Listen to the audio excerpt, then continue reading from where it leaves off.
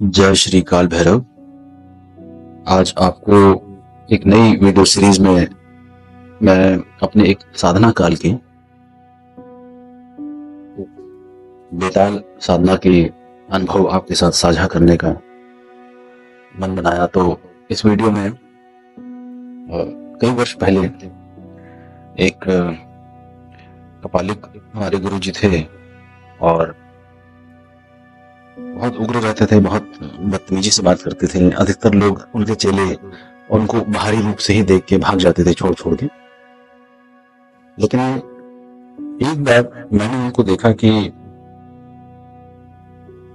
उनको गाली देते हुए भी भीतर उनकी आँखों में कुछ ऐसा परीक्षण का चमक रहती थी कि उससे मुझे भान हुआ कि ये बाहर कुछ और हैं। बाहर भले ही कितने कठोर हों, कितनी ही परीक्षा ले रहे हों, चाहे कितना ही गाली गलौज कर रहे हों, मार रहे हों। लेकिन अंदर से ये जांचते, परखते रहते हैं, देखते रहते हैं हर चीज़ों को। इसी प्रकार से मारते, डांटते, जांचते, परखते साधकों को आगे ले जा रहे हैं। उनके बहुत ज़्यादा साधक नहीं थे। कारण ये था कि उनकी परीक्षाएँ बहुत कठिन थी। और मैं भी जब गया तो मैं भी कई दिनों तक उनका प्रतीक्षा करता रहा, दूर बैठे बैठे। पत्थर उठा उठा के मारते थे, गाली देते थे। डर लगता था कि पता नहीं गुस्सा हो जाएँगे तो मिलेंगे, नहीं क्या पता। फिर भी मैं प्रयासरत रहा और एक दिवस जब मैं उनके पास और निकट आने का प्रयास कर रहा था तो देखा वो नदी किनारे सूखे पेड़ की ओट लेके विपरीत दिशा में देख रहे हैं। मुझे लगा कि मैं शायद थोड़ा सा निकट आ सकता हूँ उनके। तो मैंने धीरे धीरे कदम बढ़ाए और अचानक से शायद दूरी दस कदम या पंद्रह कदम रह गई होगी, वो पलटे और वहीं से उन्होंने उठा के पत्थर फेंक के मारना शुरू करा और गाली देना शुरू करा। मैं वहीं बैठ गया चुपचाप। तो वो शांत हो गए ये कई दिनों के बाद के ऐसा मौका मुझे मिला कि कोई नहीं था और मैं वहाँ पे उनके दस पंद्रह कदम, बीस कदम करीब पहुँच चुका था। नग्न रहते थे, एक खप्पर था, उसी में ही खाते थे। खप्पर ही उनकी ज़िंदगी थी और कुछ नहीं था। बाकी जो शिष्य आते थे आते थे, चले जाते थे, कुछ दिन रहते थे, चले जाते थे। तो मैंने जब वहाँ पे झुक के बैठ गया, वहाँ पे उनके पत्थरबाजी से रुकने के कारण तो शाम का समय था वो धोली थी हल्का हल्का। नारंगी, प्रकाश, आकाश की एक क्षितिज में बिखरा हुआ था। हल्की सी मुझे नींद सी लगी और मैं वहीं लेट गया। शायद नींद थी या ध्यान की अवस्था थी, मुझे ज्ञात नहीं है।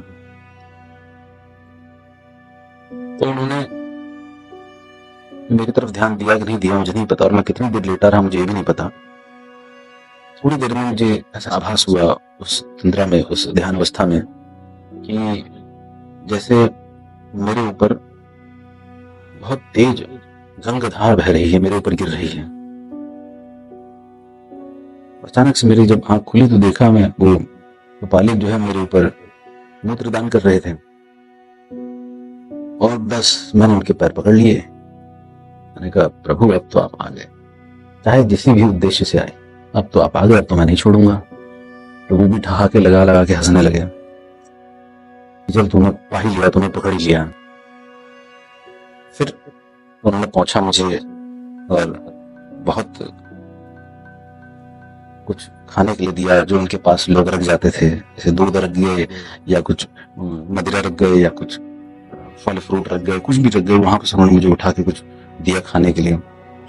तो मैं पकड़ा रहा खाया नहीं तो उन्होंने कहा कि क्यों आए हो? मैंने कहा, मैं तो बस भटक रहा हूँ मैं तो बस ढूंढ रहा हूँ। कुछ घटनाएँ घटी हैं मेरे साथ, जिसको मैं कई लोगों के साथ साझा करना चाहा, लेकिन उनकी क्षमता नहीं थी शायद, या उनके साथ अपना अनुभव नहीं रहा। वो उसको नहीं समझ पाए तो बैठे रहे, उन्होंने कहा कि मैं तुम्हें कुछ साधना कराऊँगा। उससे पहले दीक्षा तो मैं देता हूँ, दीक्षा का मंत्र देता हूँ, उसको जाप करना शुरू करो। ये कई दिनों की कठिन परीक्षाओं के बाद, इतने सारे पत्थर खाने के बाद, गाली खाने के बाद एक ऐसा समय आया था। अब परीक्षाएँ उनकी लगातार चालू थी। अभी भी मुझे एक अलग दृष्टि से वो देखते रहते थे कि क्या है, क्या करेगा, क्या करना चाह रहा है, कैसे शब्द निकल रहे हैं, क्या सोच रहा है, सब उनको पता था। क्योंकि तो मैं तो बोलता ही वैसे बहुत कम था। तो जब अगले दिन सुबह चार बजे के आसपास का समय था, नदी किनारा था। तो उन्होंने अपना कुछ जो भी कपाली क्रियाएँ होती हैं करना शुरू करा। मैं बैठा हुआ था। मुझे नदी में नहा के आना था। मैं नदी में नहाने गया। ठंड थी, हल्की, और निर्वस्त्र होके वहाँ अग्नि के समक्ष मुझे बैठा गया। उनकी मंत्र बुदबुदाहट चालू थी। बहुत सारी शक्तियों का आक्रोश मुझे दिख रहा था वहाँ पर। जो पेड़ था, पेड़ के पास कितनी शक्तियाँ थी, इनके पास कितनी शक्तियाँ हैं, और सब जैसे खाने को तैयार नोचने को तैयार। एक पल मुझे लगा कि शायद कहीं मेरी बलि तो नहीं दे रहे हैं।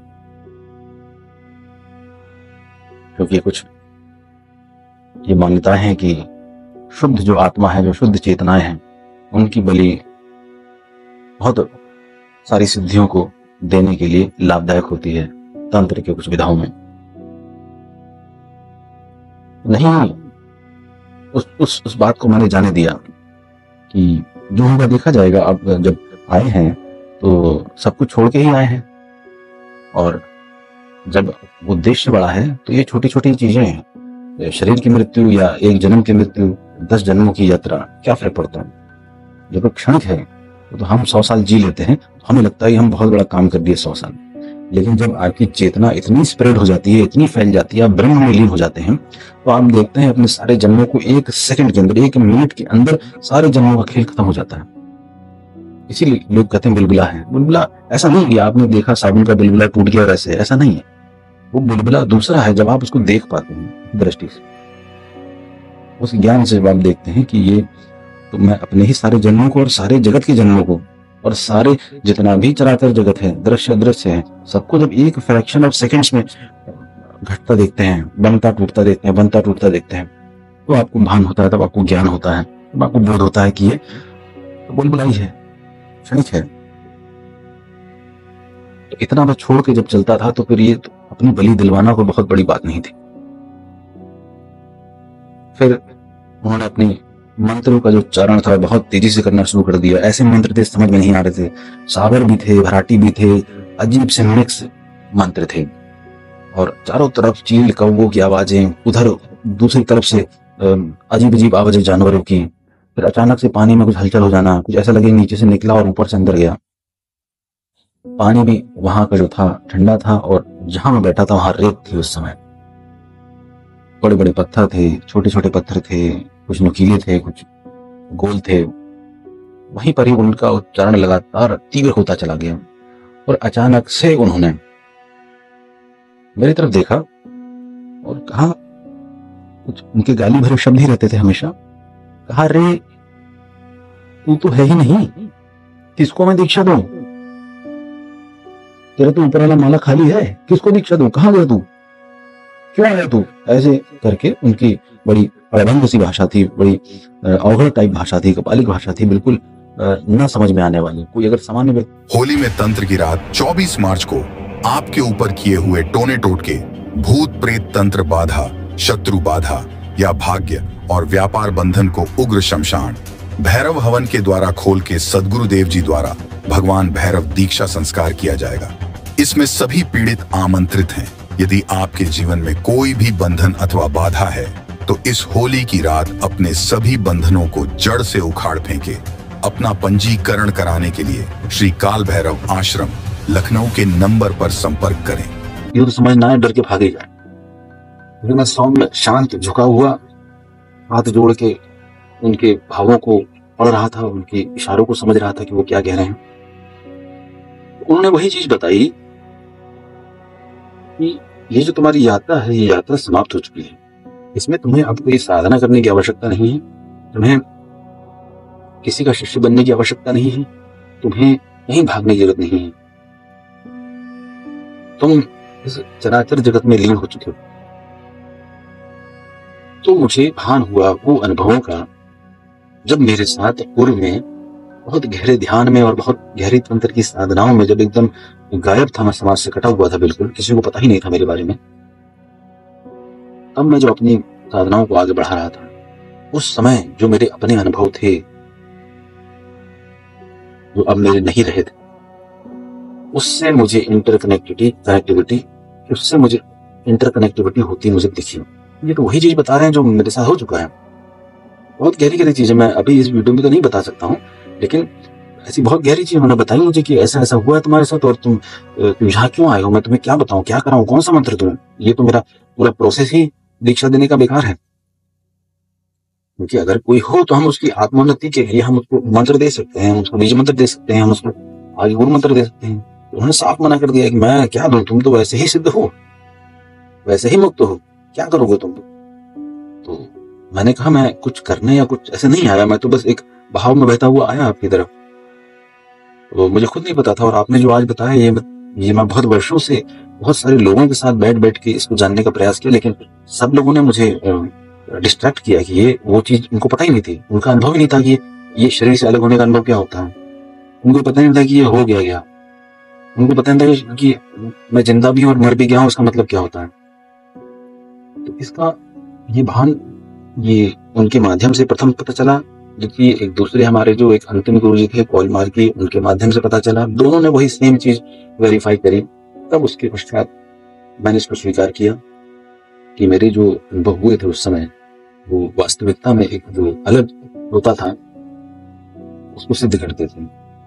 तो खैर, फिर भी मैंने उनसे कहा कि मैं अगर आया हूँ तो आप मुझे, वही तो एक साधना कराइए। तो उन्होंने कहा, ठीक है, मैं मैं बेताल की साधना के लिए प्रेरित करता हूँ। बेताल की साधना करो।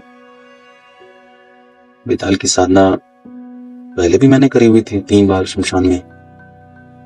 लेकिन मैंने उनसे कुछ नहीं कहा। मैंने कहा, आप जो मुझसे, जो मुझे देंगे, मैं वो कर लूँगा। वो तो तुम कर ही लोगे। उनके यही शब्द वो तो तुम कर ही लोगे। मैं तुम्हें जो दूँ, चाहे ना दूँ तुम सिर्फ़ मुख से। अगर कुछ बोल भी दोगे तो मंत्र बनना शुरू हो जाएगा। उसमें इतनी ऊर्जा आनी शुरू हो जाएगी। खैर, उस उस बातों के मैंने बाद में प्रयोग करे, बहुत प्रैक्टिकल करे, जिसको मैंने सही पाया भी बहुत जगहों पर, जो उनकी बातें थी। और उनका आशीर्वाद सदैव मेरे साथ है, समीप है। कभी भी मैं आज भी अगर उनको सिर्फ़ हृदय भर से याद भी कर लेता हूँ तो उनकी जितनी भी आक्रामक शक्तियाँ हैं, वो सब मेरे सामने प्रत्यक्ष होके मारण के लिए किसी को समाप्त करने के लिए, किसी का नुकसान करने के लिए कुछ भी खत्म करने के लिए, समाप्त करने के लिए, आक्रोश में आते हथियारों से लबालब खड़े हो जाती हैं। तो क्योंकि शुरू से मेरा ये वशीकरण, ये सम्मोहन, ये आकर्षण, ये इन सब में मेरा कोई भी इंटरेस्ट नहीं रहा। बहुत सारे मेरे पास लोग संदेश भेजते हैं, हमें कराइए हमें कराइए, मैं मना कर देता हूँ। कि भाई, आपका अगर ईष्ट, आप अगर ईष्ट को समर्पित हो तो आपका ईष्ट जिसको बुलाएगा, आपके समीप रखेगा, जिसको नहीं बुलाएगा, नहीं रखेगा, आप दुनिया से क्या मतलब है? लेकिन लोग समझते है मेरा शुरू से ही सिर्फ़ एक ही टॉपिक रहा है, मारण मारण मारण। तो मेरा शुरू से ही सोच उसी पे ही रहा है और मेरा कभी भी कॉन्सेप्ट यही रहा है कि जितने भी गुरुओं से मैंने आपको, मैं अपने गुरुओं की पूरी वीडियो सीरीज़ बना रहा हूँ, उसमें दिखाऊँगा। जितने भी मेरे गुरु रहे हैं, सबका मैंने जो सिस्टम सीखा है, मैंने मारण का ही एक्सपर्टाइज करा है। मोहन तो जो ईस्ट है, वो खुद खुद करेगा ना, जिसको उसके अपने पास बुलाना है, बुलाएगा। तो उन्होंने फिर मुझे बेताल की मंत्र दिए लगभग आधे पन्ने का मंत्र था, बहुत बड़ा मंत्र था। उन्होंने कहा कि आप इसको पहले यही मेरे समक्ष ग्यारह बार पढ़िए और उसके बाद आप चले जाइए नदी के उस ओर। जब नदी के उस ओर में गया तो कुछ नहीं था वहाँ पे। खाने के लिए भी कुछ नहीं था। पानी तो खैर नदी का बही रहा था, थोड़ा बहुत वही चल जाता। है लेकिन कुछ था ही नहीं। वस्त्र उन्होंने कहा कि उठा के फेंक दो तो थोड़ा सा ही वस्त्र रहता था मेरे पास उस समय।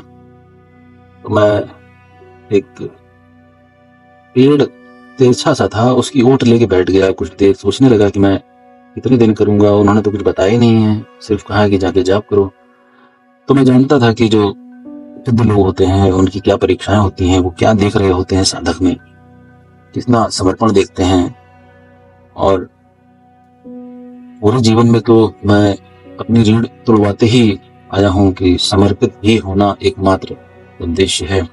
और उसी के माध्यम से ही अपने आप को मारते मारते ही मैंने ये जान लिया कि समर्पित होना क्या समर्पित होना यह नहीं होता है कि परिस्थिति वश आप समर्पित हो गए। समर्पित होना है कि किसी भी परिस्थिति में हो आप समर्पित हो। समर्पण पे भी एक दूसरी वीडियो बन रही है, उस पर मैं डिटेल में आपको बताऊँगा कि समर्पण क्या होता है, जिससे उन सभी साधकों को ज्ञान हो जो समर्पण का खेल खेलते हैं, लेकिन वास्तविकता में भीतर जीवित रहते हैं। बुद्धि का प्रयोग करते हैं, समर्पण में भी। वो समर्पण नहीं है। फिर मैं आपको जगह ले आता हूँ। मैं इसी युवापों में था कि कब से शुरू करूँ, क्या करूँ। उन्होंने कुछ बताया ही नहीं ना मुझे किस माला से करना उन्होंने कहा, करो बस। तो मैंने फिर करना शुरू कर दिया। बिना माला के चुपचाप बैठा रहता नदी किनारे बैठा रहता दूर जो है, नदी की उस तरफ़ बहुत छोटे से हमारे जो कपाली गुरु जी थे, वो देखते थे।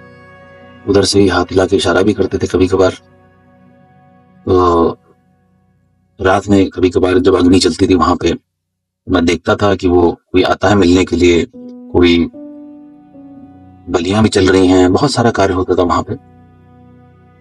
वो अपने खुद की साधनाओं में भी रहते थे, उनके शिष्य भी रात्रि में आते थे।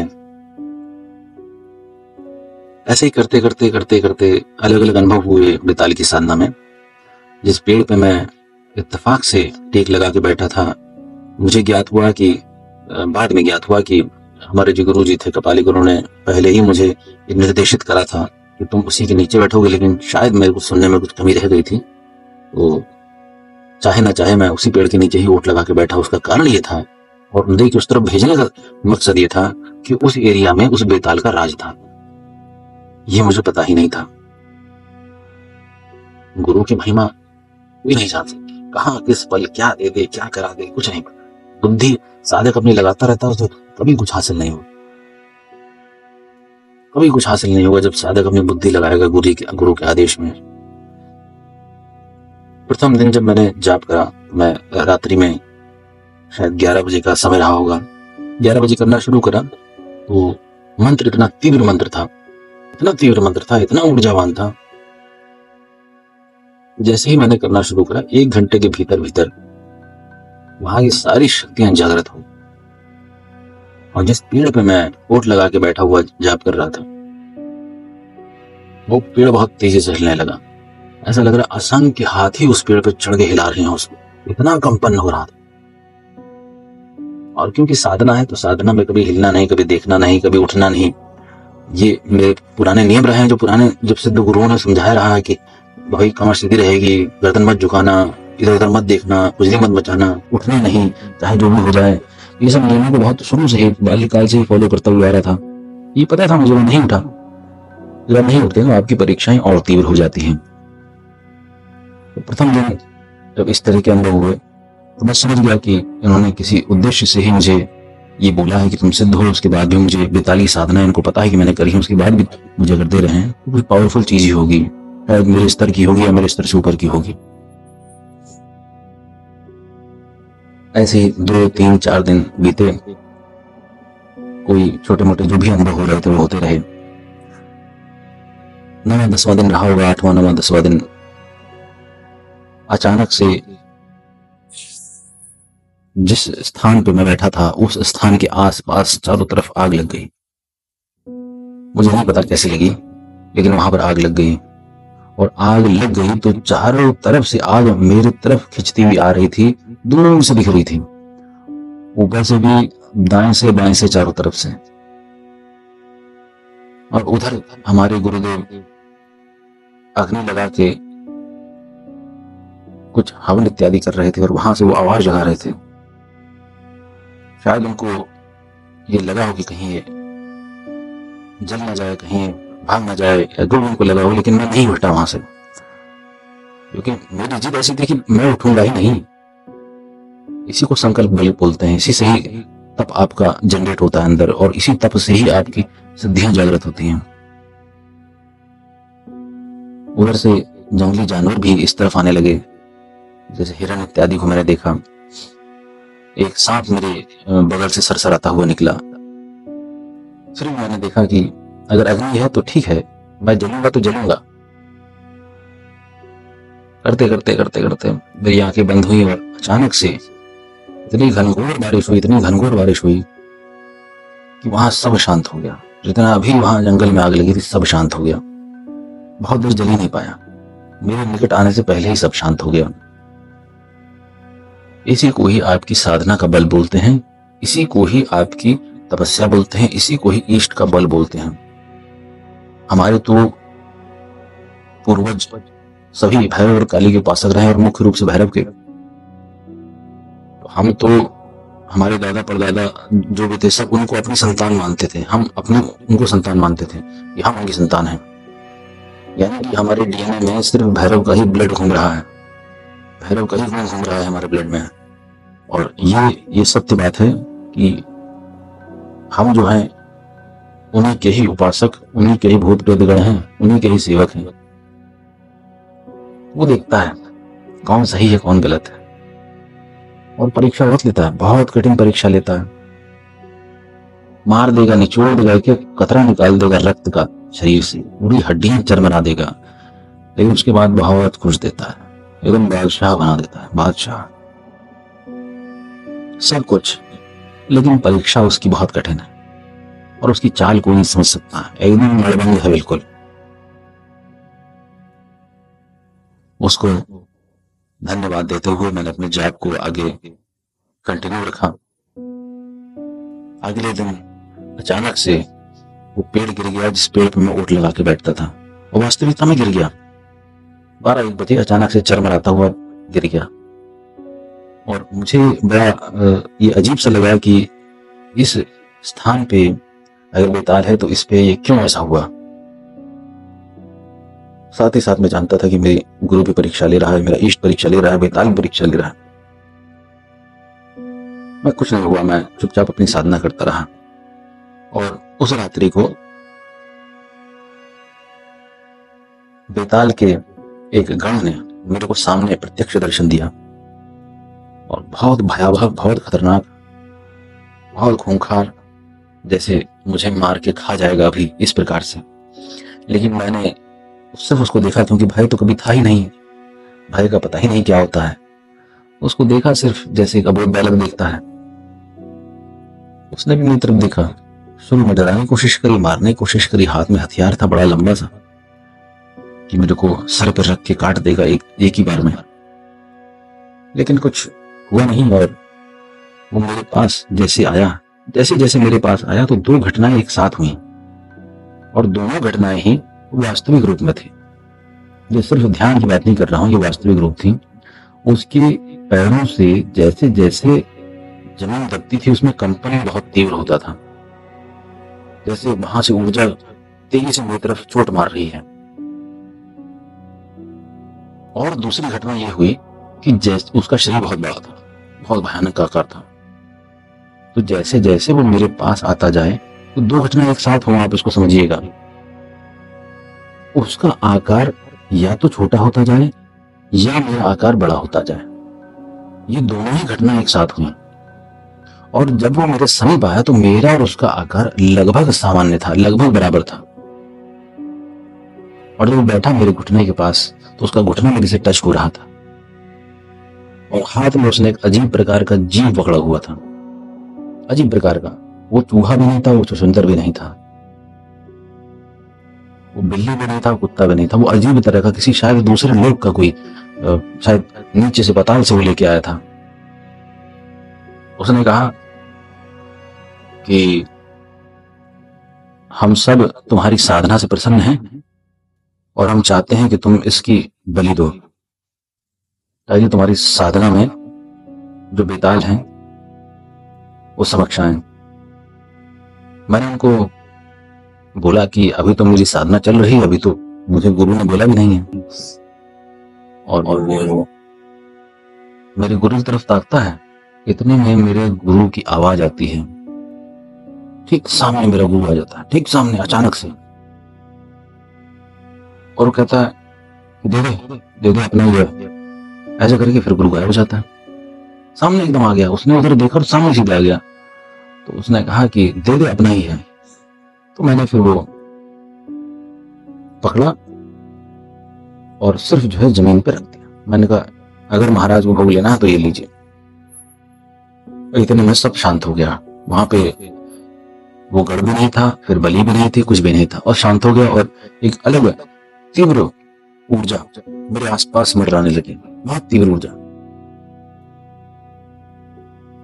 ऐसे करते करते करते करते अलग अलग अनुभव होने लगे। कभी स्त्रियाँ आए, कभी उनकी सहचरियाँ आए, कभी कुछ आए, कभी कुछ आए।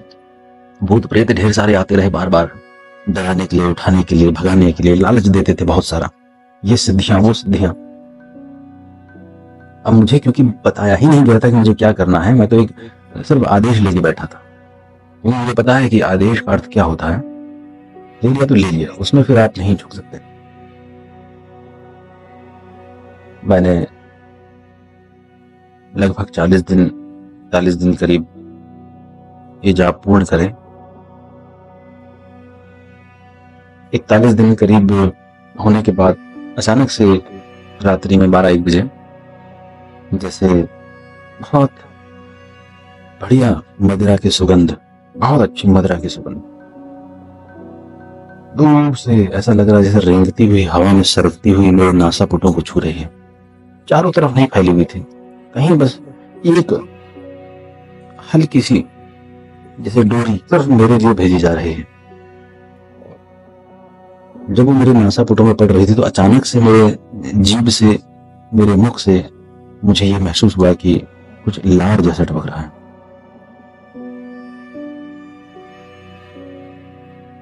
समक्ष अचानक से एक बड़ी विशाल आकृति बहुत विशाल आकृति।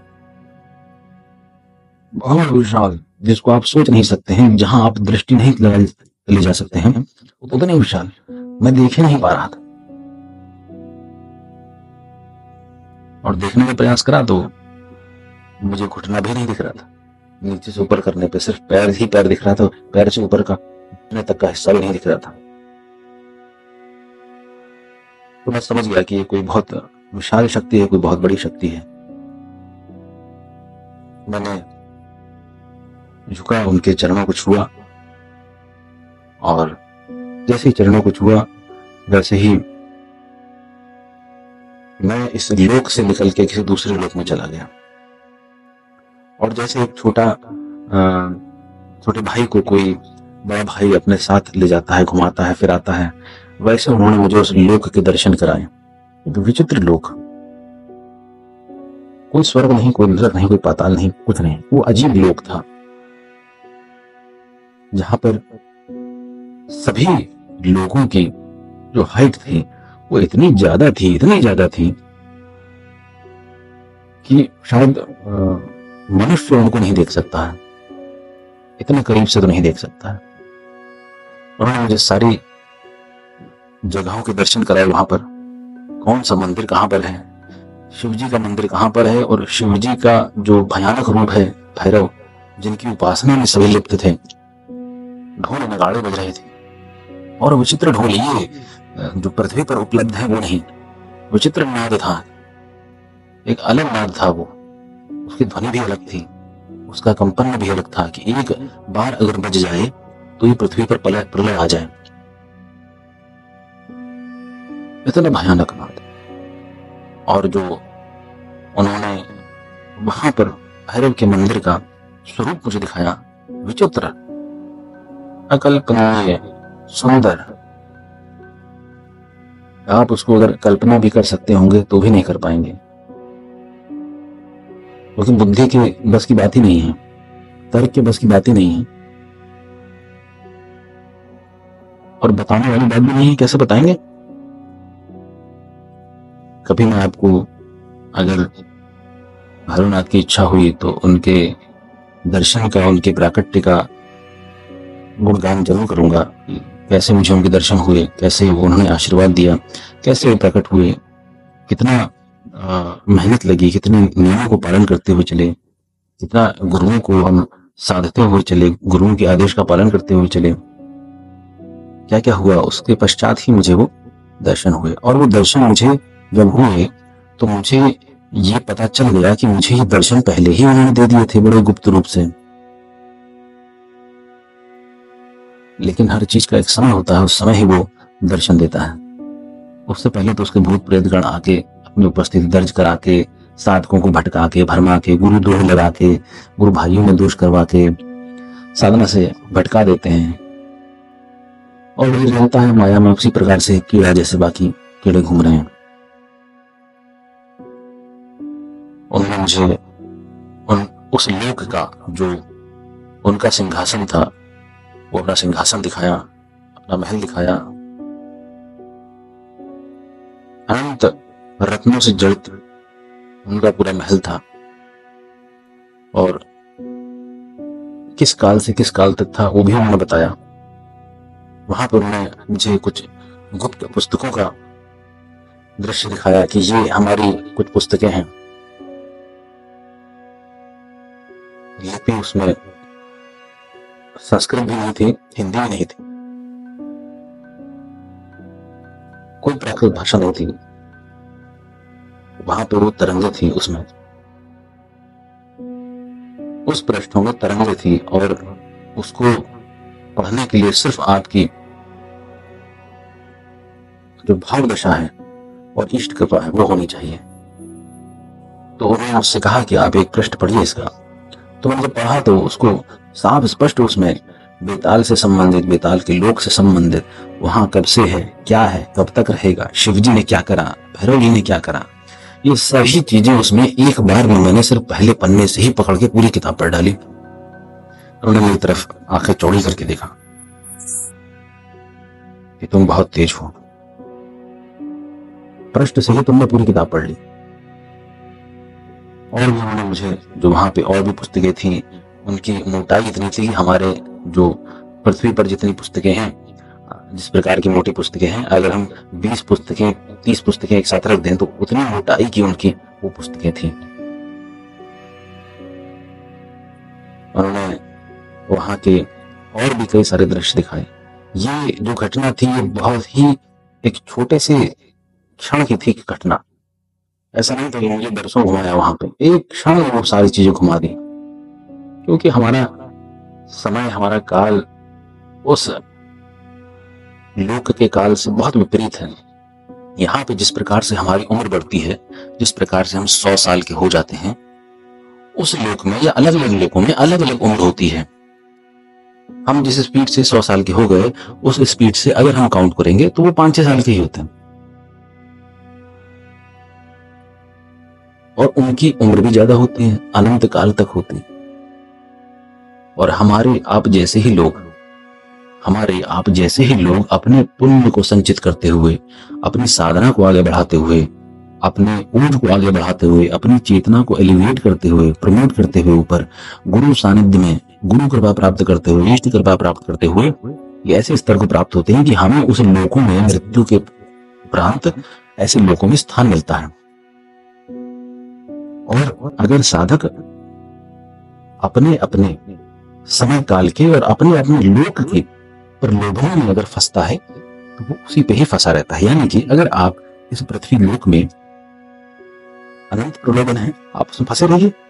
मेरे बहुत सारे शिष्य फंसे रहते हैं, आते हैं साधना के लिए, लेकिन करने लगते हैं। पॉलिटिक्स वो कारण क्या है? कि उनकी ऊर्जा तो उतनी क्षण है, वो गुरु की ऊर्जा के साथ तादाद में बिठा के चले नहीं पा रहा और बाद में जाके गुरु को दोष देता है। गुरु तो तरसी है गुरु तो लड़की बाज है। उनकी उन लोक के प्रलोभनों तक ही उनकी ऊर्जा सीमित है। उससे ऊपर वो देख ही नहीं सकते हैं। क्योंकि जिसको किसी भी व्यक्ति में दोष दिख रहा है तो उसको ये मानना चाहिए कि उसके भीतर ही दोष है, तभी उसको दिख रहा है। वरना उसको दोष कैसे देख सकता था? किंतु ये हर व्यक्ति के अपने अपने अहंकार हैं, उनको सहेज के चलना होता है। उसी वजह से उनकी गति नीचे की तरफ़ होती है, ऊपर की तरफ़ नहीं हो पाती कभी भी। और ऐसे इस लोक में जन्म भटकता है, जन्म भटकता है। फिर जब उसकी चेतना एलिवेट होती है, आगे बढ़ती है, ऊपर के लोगों की तरफ़ बढ़ती है तो इसी प्रकार की अलग अलग सुंदर लोकों में उसका पदार्पण होता है और वहाँ वो भोगता है। उसी लोक में, उसी बेताल लोक में, उसी यक्ष लोक में, उसी प्रेत लोक में भी कुछ ऐसे चेतनाएँ होती हैं जो जागृत होते हैं, जो समझदार होते हैं, वहाँ पर भी अपनी ध्यान, धारणा, समाधि इत्यादि ईश्वर, ज्ञान, भजन में लगे रहते हैं। ताकि उनका वो स्तर और ऊपर बढ़ता चला जाए। वो चले जाए ऊपर ज्ञानगंज वो चले जाए ऊपर सिद्धाश्रम, वो चले जाए। यदि आपको ये वीडियो अच्छी लगी हो, ज्ञानवर्धक लगी हो तो ज़रूर इसको सब्सक्राइब करें और अपने मित्रों के साथ शेयर करें। जय श्री काल भैरव। तो इसी प्रकार की अलग अलग सुंदर लोकों में उसका पदार्पण होता है और वहाँ वो भोगता है। उसी लोक में, उसी बेताल लोक में, उसी यक्ष लोक में, उसी प्रेत लोक में भी कुछ ऐसी चेतनाएँ होती हैं, जो जागृत होती हैं जो समझदार होती हैं, वहाँ पर भी अपने ध्यान, धारणा, समाधि इत्यादि, ईश्वर, गायन, भजन में लगे रहते हैं, ताकि उनका वो स्तर और ऊपर बढ़ता चला जाए। वो चले जाए ऊपर, ज्ञानगंज। वो चले जाए ऊपर, सिद्धाश्रम, वो चले जाए ऊपर, काली की गोद में। इस प्रकार से यात्रा अनंत समय से अनंत काल के लिए हो रही है। इसीलिए जब वैष्णव बोलते हैं, हरि अनंत, हरि कथा अनंता। अनंत बार बार क्यों आ रहा है? ये अनंत इसीलिए आ रहा है क्योंकि उन्होंने देख लिया है, ये सब ड्रामा है। आप जितना प्रयास कर लीजिए, आप यहीं रहेंगे जहाँ पे हैं। जिस दिन आप प्रयास करना बंद कर देंगे, समर्पण इस अस्तित्व हो जाएँगे, आपकी गति स्वतः हो जाएगी। कुंडलिनी का जो प्रोसेस है, लगे हुए मंत्र जाप करने में ध्यान करना वो ऑटोमेटिकली अपने आप खिलने के लिए तैयार है नेचुरल है। लेकिन हमें चाहिए, हमने ढेर सारी किताबें पढ़ ली हैं, और उसमें हमने प्रवीणता हासिल कर ली और हमने स्वयं से ही सिद्ध कर ली है कुंडलिनी भी। सारे चक्र हमने जागृत कर लिए, हमने पढ़ लिया पढ़ के हमें समझ में आ गया है कि हाँ जागृत हो जाते हैं। तो ये उन साधकों के लिए भी निर्देश है, संदेश है कि आप पढ़ना बंद कर दें, कृपया करना शुरू कर दें। और अपने जो मन के जो भ्रम है, उनसे दूर होके पूर्व सानिध्य में अपने मन को मारने का प्रयास करें। अगर मन ही इतना अच्छा है तो फिर साधना उतरने की आवश्यकता नहीं है। आपको तांत्रिक ओझा बनने के लिए ही प्रयास करना चाहिए, मुक्ति के लिए नहीं। और उस क्षण के बाद जिसमें मैं गमन कर रहा था अचानक से मुझे अपना शरीर खिला खिला सा लगा, जैसे मेरा शरीर फूल सा गया थोड़ा सा खिल सा गया, जैसे पुष्प खिल जाता है कली से। उसमें सुगंध छूटने लगी, और सुगंध जो थी वो मदिरा की सुगंध थी। रूम रूम से एक अजीब द्रव्य की सुगंध छूटने लगी, जो एक दूसरे लोक की मदिरा थी। उसमें वो तीखापन नहीं था जो यहाँ की मदिरा में होता है। और उस को लेके मैं बैठा रहा, उस अनुभव को लेके काफ़ी देर तक जब थोड़ा सा होश जागा तो मेरे चारों तरफ़ पुष्प गिरे हुए थे। और जिस वृक्ष पे मैं टेक लगा के बैठा था जो गिर चुका था पहले, वो वैसे का वैसे ही खड़ा हुआ था और उस पर ढेर सारे पुष्प थे, ढेर सारे। और अचानक से तीखी आवाज़ आई मुझे दूर, नदी उस ओर से, कि मेरा नाम उस समय अवघड़ उन्होंने रखा हुआ था। अरे हो गया हो गया जा तो नदी लंबी थी, नदी उतनी लंबी मैं नहीं कर सकता था, तैर के पार। तो पैदल पैदल पैदल पैदल दूर जाना होता था। दूर जाके फिर वहाँ से पुल से जाना होता था। तो अचानक से पत्थर इत्यादि सब धीरे धीरे स्पीड होती है।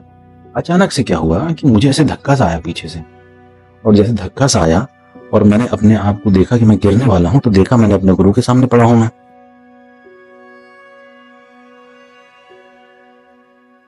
तो ये क्या हो गया? ये ठीक वही हुआ जैसा मेरे गुरु ने कहा था। मुझे भेजने से पहले मेरे गुरु ने बोला था कि यही साधना करो, ये सिद्ध है। बस कुछ ज़ोर की ज़रूरत है। पहले भी मैं साधना कर चुका था बेताल की। प्रत्यक्षीकरण हुआ था, आए थे। बहुत विशाल अग्नि स्वरूप में भी आए थे। नीचे रूप में भी आए थे और बहुत हाइट में भी आए थे। लेकिन ये जो अनुभव था, ये कभी ना भुलाने वाला अनुभव था। मेरे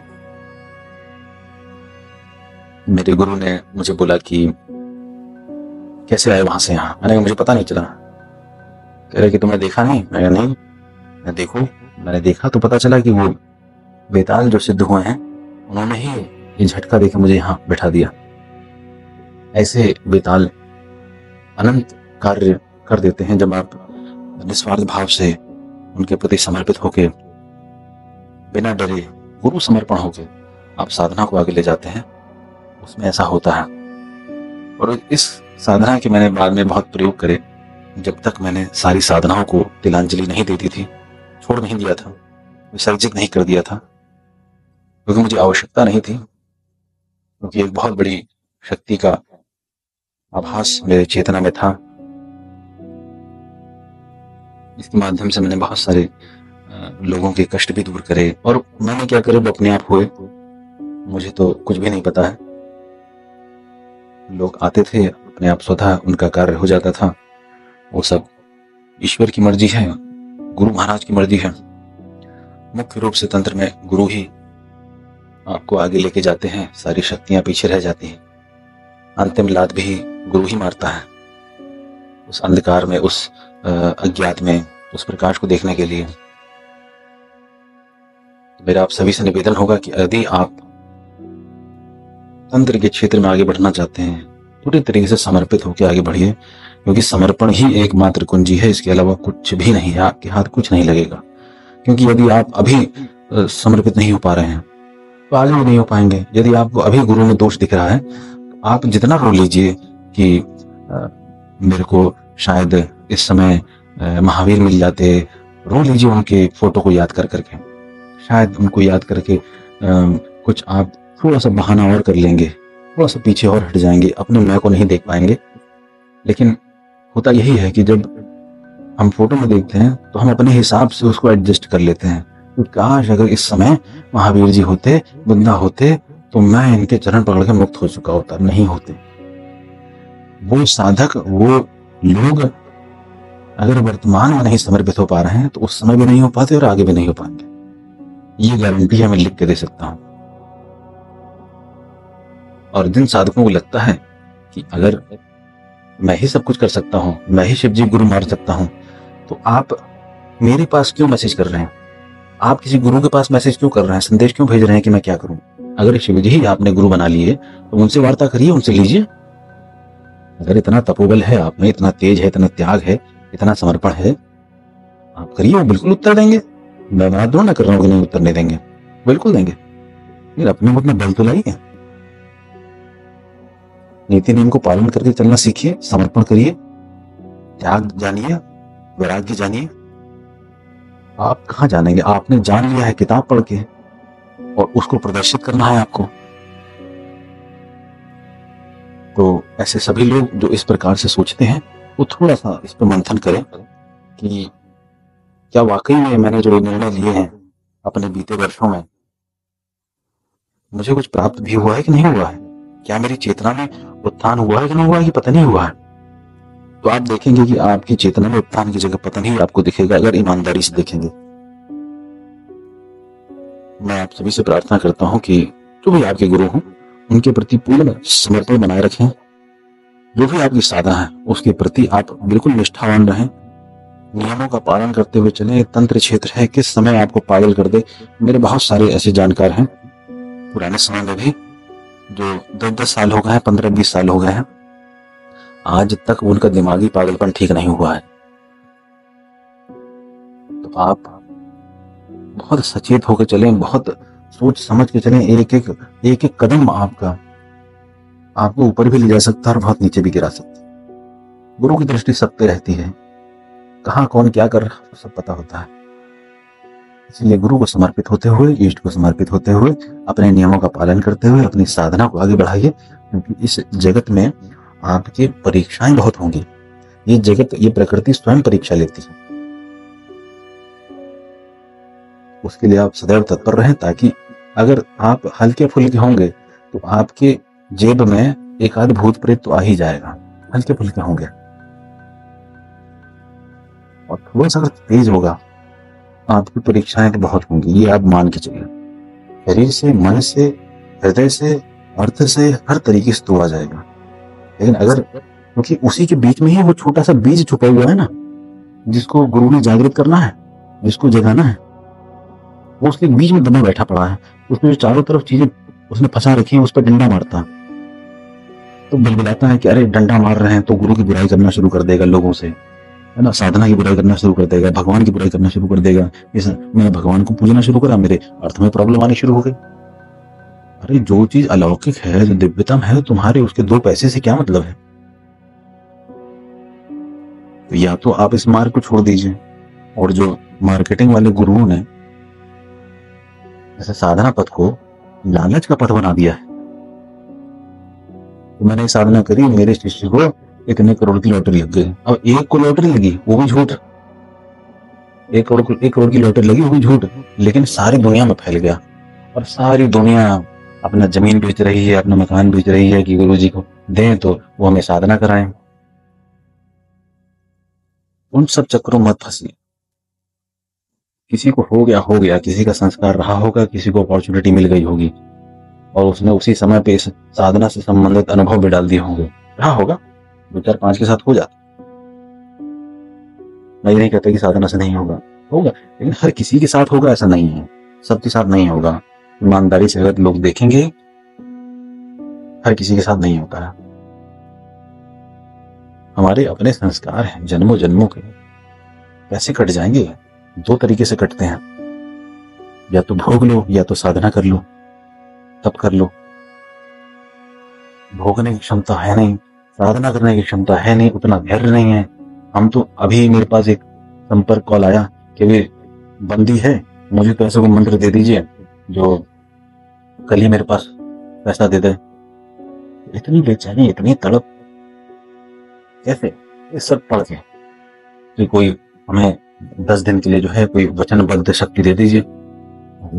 जिसने अपनी जान जोखिम में डाल के शक्तियाँ हासिल करी हैं, वो तुम्हारी इतनी क्षमता है, तुम्हारी आत्मा के इतने तपोबल है, तुम्हारे अंदर की कोई छोटा सा भूत प्रेत में देख के डर जाओगे। बात करोगे शक्ति की? फट के हाथ में आ जाएगी, अगर छोटा सा भूत प्रेत भी अगर सामने प्रत्यक्ष हो गया। भागोगे, दौड़ोगे, पागल हो जाओगे। इतना भयानक रूप होता है और इतना भयानक ऊर्जा होती है। रूप तो छोड़ ही दो।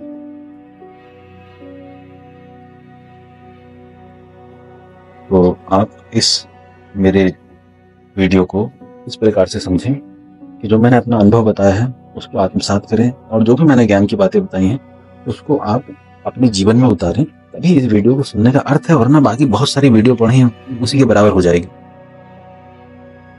अपने जीवन को उन्नत करें, समृद्ध करें, भगवान भैरवनाथ आपकी सभी मनोकामना, सभी इच्छाएँ, सभी पूर्ण करने का प्रयास करें, आपके कष्टों को दूर करें। आपको समृद्धि दे, आनंद दे, मुक्ति दे, अपनी साधना करने के लिए मैं वो प्रेरित करें, मैं आपको भी प्रेरित करता हूँ, भगवान भैरव की साधना करें। हमारा एक संस्था है, मैं जहाँ भैरव दीक्षा देता हूँ।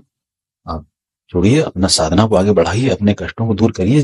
तब करेंगे तभी या तो भोग लीजिए अपने कष्टों को, या तो साधना कर लीजिए, तपस्या कर लीजिए। परीक्षा के लिए तैयार रहिए, सदैव। जय श्री काल भैरव। उस सभी रोंगटे खड़े हो गए, उसको देखते ही। उसका एक प्रयोग है मंत्र के साथ। वो जब मैं साधकों को देता हूँ तो उस मंत्र के साथ प्रयोग बताता हूँ कि आप उस दंड को पकड़ के भैरव दंड है, उस दंड को पकड़ के ऐसे तीन बार उस मंत्र का उच्चारण करके अगर आप आपने तीन बार उस स्थान पर ठोक दिया तो समझ लीजिए 20 20 50 50 सौ सौ किलोमीटर दूर तक उसके उच्चारण से और उस ठोक से पड़ने वाली चोट उस धरती के भीतर ही नहीं, ऊपर के भी शक्तियों को सफ़ाई कर देती है।